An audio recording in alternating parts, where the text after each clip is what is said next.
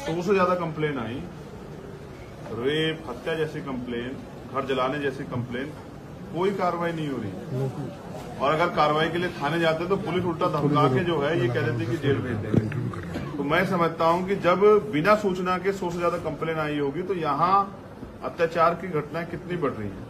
अगर पुलिस और सरकार मिलके महिलाओं को, गरीबों को, किसानों को, मजदूरों को सुरक्षा नहीं दे सकती है तो ऐसी सरकार सरकार की, की ज़रूरत इन, इन वर्गों को क्यों है? बड़े पैमाने पे मैंने ये नोटिस किया। अभी सबसे बड़ा मुद्दा जो है वो पिछले वर्ग का जो आरक्षण था तो पिछली सरकार ने 27 परसेंट की बात की और बाद में वो साढ़े सात परसेंट पे पंचायत चुनाव हुआ। यानी कि सबसे ज़्यादा अगर कहीं अन्याय जहाँ खुद 90 परसेंट आबादी बहुजन समाज की है उस प्रदेश में हो रहा है तो वहाँ के आवाज़ को उनकी आवाज़ को उनके साथ होने वाले अन्याय की आवाज़ को हमें मजबूती से उठाना पड़ेगा। यहाँ दलितों का जीना दुर्भर हो गया है। आज भी आज़ाद भारत में जो घटनाएँ पहले सुनी जाती थी कि गुलाम भारत में होती शाहजहांपुर में जो हुआ कि उस बच्ची को इसलिए नहीं पढ़ने देने दिए जा दे, जाने दे रहे हैं कि भाई वो अगर उस गाँव से कोई बेटी पढ़ने नहीं जाती है तो आज तो महिलाओं को बराबर के अधिकार है आज तो इस देश की राष्ट्रपति महिला है।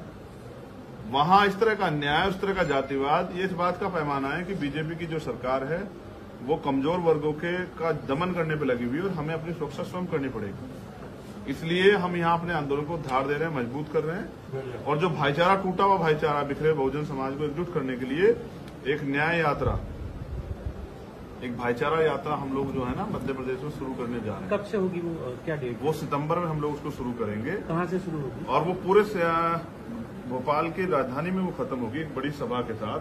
पूरे प्रदेश में हो जाएगी, बावन के बावन डिस्ट्रिक्ट में जो है वो जाएगी, और वहाँ जाके जो अन्याय अत्याचार उन जिलों में जो समस्या है, और जिस तरह से आज भी आर्थिक गैर बराबरी का हम लोग शिकार हैं, कि तमाम तरह के रिसोर्सेस से हम लोग दूर हैं, ना हम पे ज़मीन है, ना हम पे रोज़गार है, ना हम पे जो भर्ती होती है उनमें भ्रष्टाचार हो जाते हैं। उन सब चीज़ों के खिलाफ भी हम सरकार के जो नीतियाँ हैं और सरकार की पॉलिसी है जिनकी वजह से जिन पॉलिसियों को जो सिर्फ़ कागजों पर है जिनकी वजह से काम नहीं हो पा रहा हम जनता के बीच में रखें कहाँ से शुरू होगी? आज़ाद जी कहाँ से शुरू होगी ये इसका पूरा मेमोरेंडम बना के आप लोगों को दिया जाएगा। डेट भी तय होगी डेट के साथ दिया जाएगा। और जिस दिन बड़ी सभा होगी वो सब चीज़ें दी जाएँगी। आज़ाद जी बीएसपी का स्तर नीचे जा रहा है भीम आर्मी का स्तर ऊपर जा रहा है। इसमें क्या दोनों मिलकर के कुछ अच्छा करने की हम लोग अपना काम कर रहे हैं।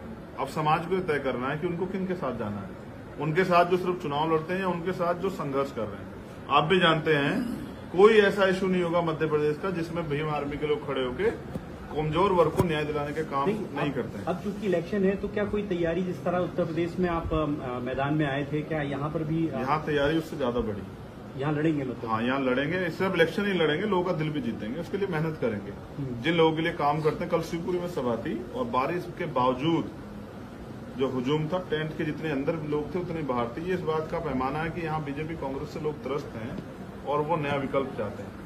यहाँ आदिवासियों की पिछड़ों की दलितों की माइनॉरिटी की एक अच्छी आबादी है जो चाहती है कि बैसाखियों के सहारे नारा हो जाए। और वो चाहते हैं कि उनके मुद्दों पर बात हो। जब वो अपने मुद्दों की बात करते हैं तो यहाँ धर्म की बात आ जाती है। पिछहत्तर साल से हम लोग इन लोगों पर भरोसा किए और हमारे हिस्से में सिर्फ़ झूठन आई। अब बहुजन समाज के लोग हैं झूठन पर ज़िंदा नहीं रहना चाहते।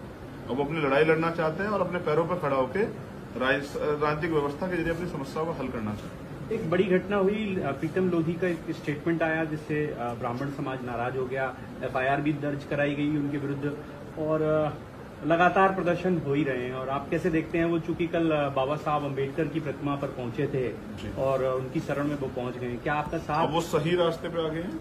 हम्म। उन्होंने एक कुछ कहा है जिसके परिणाम बीजेपी के नेताओं ने बताया कि बीजेपी और अन्य दलों में पिछड़े और दलित वर्ग की हैसियत गुलामों से ज़्यादा बढ़कर नहीं है।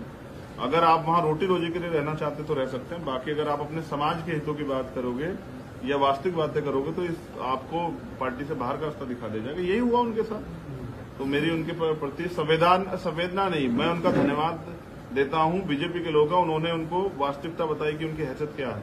अब मुझे लगता है वो सही रास्ते आएँगे और अब वो जो अपने समाज के हितों के लिए शायद लड़ पाएँगे। भीम आर्मी का सपोर्ट है क्या उनको? क्या वो आप, आप अपनी पार्टी में शामिल करेंगे निष्कासित हो चुके हैं क्योंकि ये पार्टी के पदाधिकारियों का फैसला है।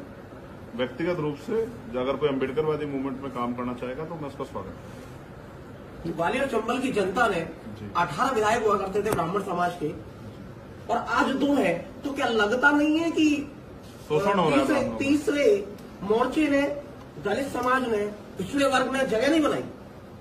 जगह बनाई लेकिन अपनी वास्तविक प्रतिनिधि नहीं भेज पाए क्योंकि अभी तो जिन लोगों को भेज रहे हैं वो सदन में इसलिए भी पार्टी के हित में ज़्यादा बोलते हैं समाज के हित में कम बोलते हैं।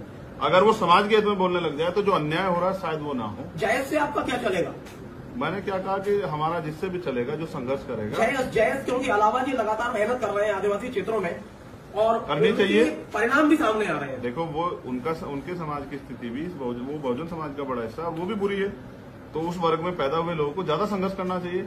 और हम भी लोग संघर्ष कर रहे हैं तो सब लोगों को संघर्ष करना चाहिए। लेकिन जो आपने बताया ग्वालियर चंबल के लोगों ने वास्तविकता में वोट की वैल्यू को समझ लिया है।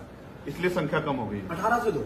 सांसद विधायक वो चाहते हैं ना अभी। देखिए कब से पचास से मौका दिए हुए हैं। पचास से उन्नीस सौ पचास से मौका दे रहे हैं। अब उन्होंने देख लिया कि अठारह विधायक बन के भी हमारे हितों की रक्षा